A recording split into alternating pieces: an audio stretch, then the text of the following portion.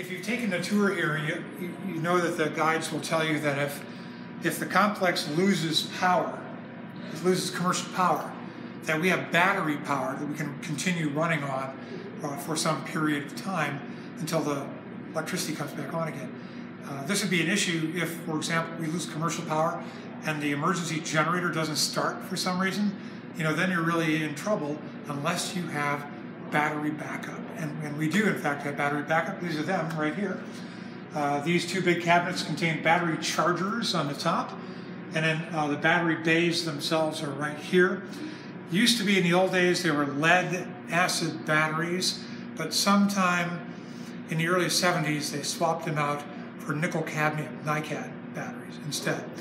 And in the old days, prior to 1979, when they upgraded the guidance system, prior to that, the MAGAC, that piece of the guidance system up on level two above us, the MAGAC needed 120 volts alternating current, 120 volts AC all the time, no matter what. So if you lose commercial power and the generator doesn't start, then how are you going to get 120 volts alternating current? That is done with what was, used to be called a motor generator. And the motor generator is right here. So this is long before the days of modern solid state electronics. This thing is run from the batteries. So if the power goes out, the batteries turn a motor that turns a generator that makes 120 volts alternating current. Today, this whole thing could be reduced to a solid state package the size of a shoebox. But back then, this is the best you could do.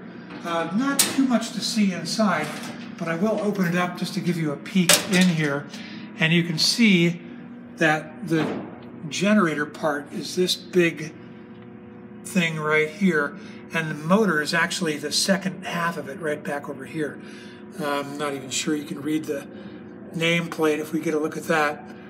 But anyway, that's the motor generator. And this thing ran continuously until 1979 when they upgraded the guidance system.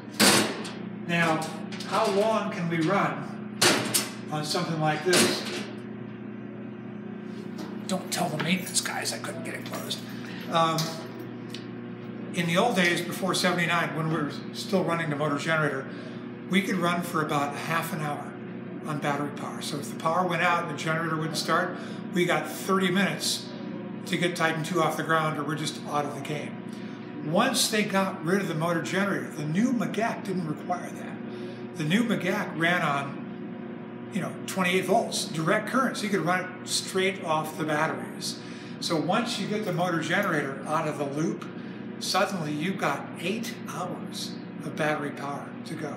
That's how inefficient this thing was. All the way from 30 minutes up to eight hours just by taking the motor gen out of the loop. So anyway, uh, if you take the tour or if you have taken the tour and wondered about those battery power supplies that the guys talk about, this is them. Thanks for watching.